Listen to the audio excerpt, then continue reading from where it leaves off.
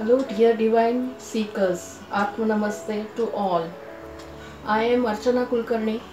I am her hypnotherapist and transpersonal regression therapist. My work is based on the principle given by Bhagavan Shri Krishna that what is within is without.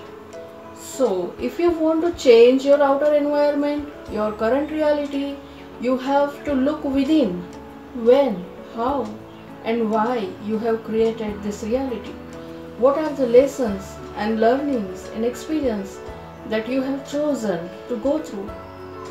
When you look within and realize and understand all these things, you feel empowered that if you have created this reality for some reason, then you have the power to change this reality.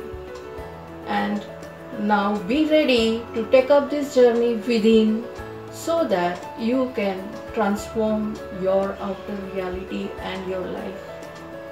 If you are watching this video, it's high time for you that you take up this journey now. Namaste.